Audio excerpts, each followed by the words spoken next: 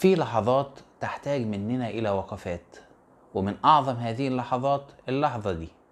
وكلهم آتيه يوم القيامة فردا. وفي اللحظة دي بتعرف معنى الوحدة. يوم يفر المرء من أخيه وأمه وأبيه وصاحبته وبنيه لكل امرئ منهم يومئذ شأن يغنيه.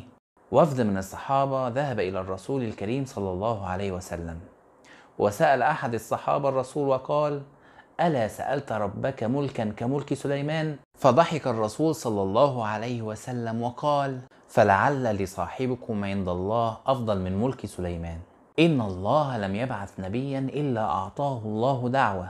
فمنهم من اتخذ بها دنيا فأعطيها ومنهم من دعا بها على قومه فأهلكوا بها. وإن الله تعالى أعطاني دعوة. فاختبأتها عند ربي شفاعة لأمتي يوم القيامة.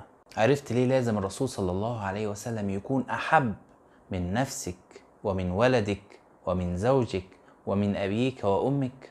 شفاعة. يعني إيه شفاعة؟ هي التوسط للغير في جلب نفع أو دفع ضرر. الشفاعة أصل من أصول العقيدة لابد من الإيمان بوجودها. هنلاقي عموم الناس اتقسموا لثلاث فرق.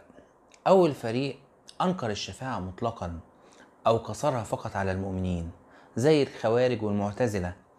بيعتمدوا على آيات قرآنية معناها الظاهر إن مفيش شفاعة على الإطلاق. زي الآية الكريمة اللي بيخاطب فيها الله عز وجل لبني إسرائيل.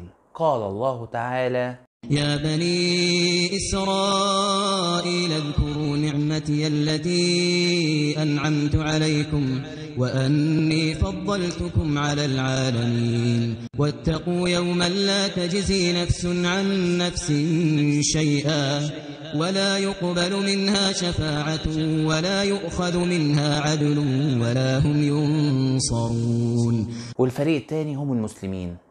المؤمنين إن الشفاعة نائلة كل موحد سواء كان مؤمن أو عاصي أو مرتكب للكبائر بإذن الله تعالى. أما بقى الفريق الثالث فبيشمل الروافض والشيعة والصوفية. قصروا الشفاعة على مريديها وأتباعها فقط دون غيرهم. ولأن الشفاعة مذكورة في القرآن الكريم وفي صحيح السنة النبوية المطهرة فمن أنكرها فهو كافر بإجماع العلماء. هو الشفاعة بس في الآخرة ولا في شفاعة في الدنيا؟ أكيد في شفاعة في الدنيا. والشفاعة في الدنيا نوعين شفاعة حسنة وشفاعة سيئة. مثال على الشفاعة الحسنة التوسط بين متخاصمين. سرقت امرأة مخزومية من قريش فقالوا من يكلم فيها رسول الله صلى الله عليه وسلم؟ فذهب إلى رسول الله صلى الله عليه وسلم أسامة بن زيد حب رسول الله. فقال له الرسول صلى الله عليه وسلم أتشفع في حد من حدود الله؟ الشفاعة تكريم للشافع ورحمة بالمشفوع له ولها ثلاث شروط. أول شرط الإذن للشافع. قال تعالى من ذا الذي يشفع عنده إلا بإذنه. وتاني شرط الرضا للشافع أن يشفع. قال تعالى يومئذ لا تنفع الشفاعة إلا من أذن له الرحمن ورضي له قولا. وآخر شرط الرضا عن المشفوع له. قال تعالى ولا يشفعون إلا لمن ارتضى. في حياة الرسول صلى الله عليه وسلم وقبل وفاته كان الصحابة الكرام يطلبون من الرسول أن يشفع لهم. طب إحنا بقى نعمل إيه؟ هل يجوز إن إحنا نطلب الشفاعة مباشرة من الرسول صلى الله عليه وسلم؟ طلب الشفاعة من ميت حتى لو كان الرسول صلى الله عليه وسلم شرك أكبر. قال الله تعالى كل لله الشفاعة جميعا وبكده ممكن تقول اللهم ارزقنا شفاعة محمد صلى الله عليه وسلم يوم القيامة ولا تقل اشفع لنا يا محمد وأما في يوم القيامة لنا أن نطلب مباشرة من الرسول الشفاعة صلى الله عليه وسلم. يشفع لنا يوم القيامة الرسل والأنبياء والصالحون والشهداء والعلماء والملائكة. الشيخ الشعراوي رحمة الله عليه يقول وإن كنت عاصيا فأحسن للأنبياء والمؤمنين والصالحين فقد يشفعون لك يوم القيامة. ده حتى وإحنا بنقرأ سورة الفاتحة بنقول إياك نعبد وإياك نستعين. بنتمحك في الصالحين علشان ربنا يقبلنا جميعا مع بعض. عندنا شفاعة منفية لا تجوز زي شفاعة من يطلب من غير الله ما لا يقدر عليه غير الله. والشفاعة للمشركين والكافرين والشفاعة دون إذن من الله ورضاه. أما الشفاعة المثبتة فمنها نوعين شفاعة عامة وشفاعة خاصة بالرسول الكريم صلى الله عليه وسلم. الشفاعة العامة بتكون لكل شافع ومن صورها رفع درجات المؤمنين في الجنة وشفاعة لمن استحق النار ألا يدخلها وشفاعة لمن دخل النار أن يخرج منها.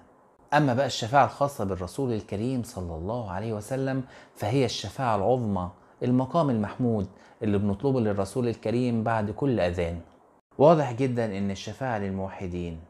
يا غلاة الروافض ليست الشفاعة كما علمكم معمموكم لن يمنع علي بن أبي طالب رضي الله عنه وأرضاه من أمر الله بدخوله النار فيقول اذهب إلى الجنة فأنت من شيعتنا.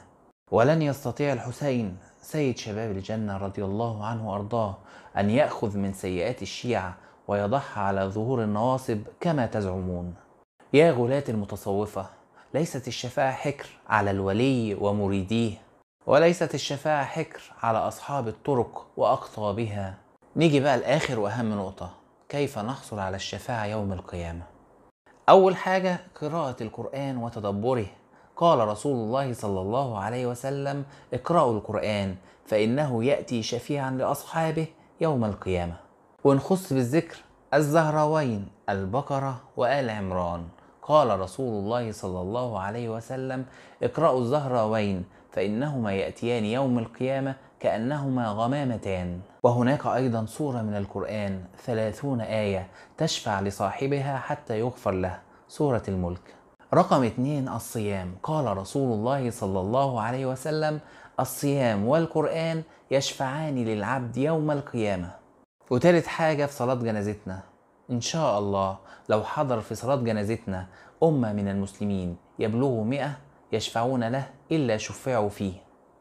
ورابع حاجة بإيدينا بعد كل أذان ترديد هذا الدعاء. اللهم رب هذه الدعوة التامة والصلاة القائمة. آتي محمدا الوسيلة والفضيلة وابعثه اللهم مقاما محمودا الذي وعدته. إنك لا تخلف الميعاد إلا حلت له شفاعة الرسول يوم القيامة. وخامس حاجة بقى يا بختك لو كان في شهيد من أهل بيتك يشفع الشهيد في سبعين من أهل بيته. وسادس حاجة بإيدينا من قال لا إله إلا الله خالصا من قلبه.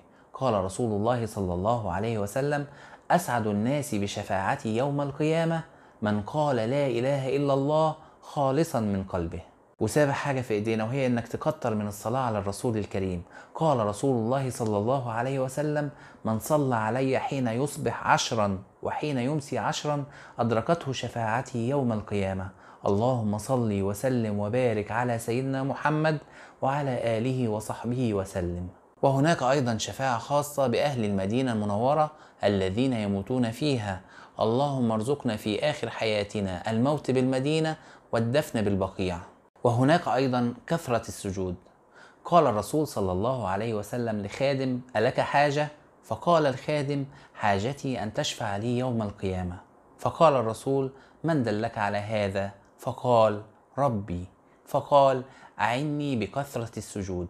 وآخر سبب وهو سبب مهم جدا الصحبة الصالحة. علشان كده لازم تختار وتتخير لنفسك ولأبنائك الصحبة الصالحة. فهم يخرجون من النار كل من كان في قلبه مثقال ذرة من خير.